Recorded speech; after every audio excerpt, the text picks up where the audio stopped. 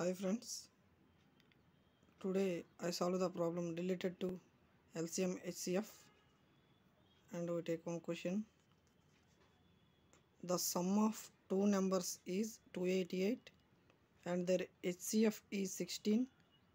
How many pairs of such numbers can be formed? Okay, the given HCF 16 and two numbers sum 288 let's take the two data. A plus b is 288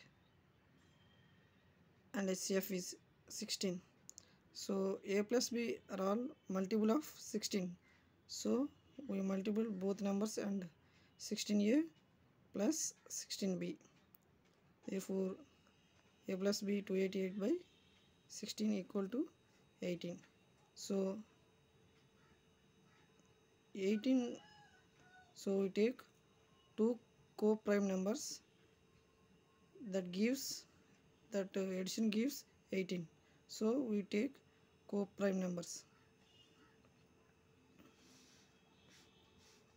First of all we take 1 1 is a 1 1 plus 17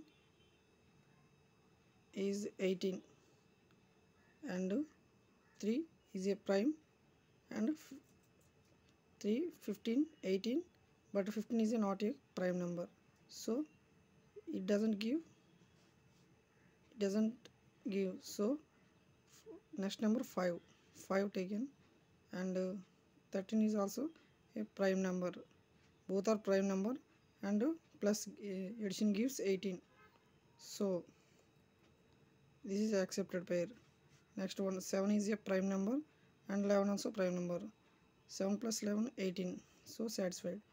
And next we take 11 and plus 7 is 18 plus already repeated.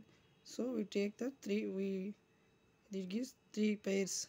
117 5 8 13 and 7 11 so as first pair is 117 5 13 7 11 so we this gives the now we multiply 16 into these numbers. 16 ones are 16 and 16 17 are 272 this is one pair.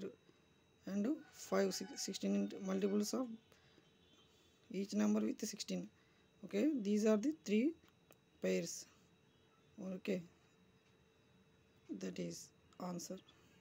Three pairs is the answer